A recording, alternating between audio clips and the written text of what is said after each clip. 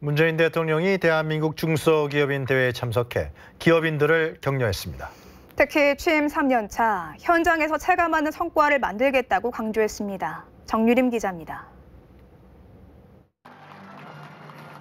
각 분야의 중소기업인들을 만난 문재인 대통령. 당장의 경제정책 성과가 체감되지 않을 수 있지만 올해는 반드시 성과를 창출하겠다는 의지를 밝혔습니다.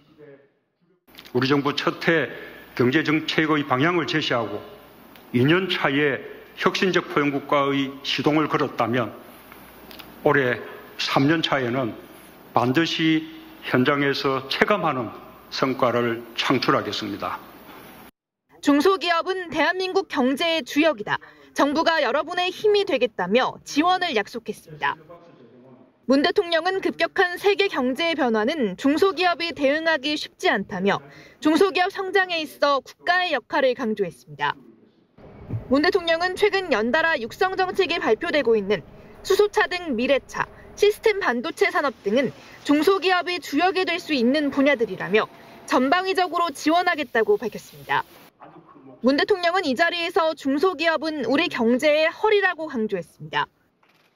중소기업의 성장은 우리 정부의 변함없는 목표라며 공정한 경제 위에서 당당하게 경쟁하며 자발적인 상생 협력이 이루어지도록 하겠다고 말했습니다. 또 사회적 대타협이 필요한 사안에 있어서도 기업인 목소리에 귀 기울일 것이라고 강조했습니다. 최저임금, 탄력 근로제, 주 52시간 근로제 등 사회적 대타협이 필요한 사안에 대해서도 우리 기업인들의 목소리에 더욱 귀를 기울이겠습니다. 한편 문 대통령은 이날 주식회사 서한안타민 이균길 대표와 SMB 이승지 대표에게 금탑 산업 훈장을 직접 수여했습니다. KTV 정일입니다.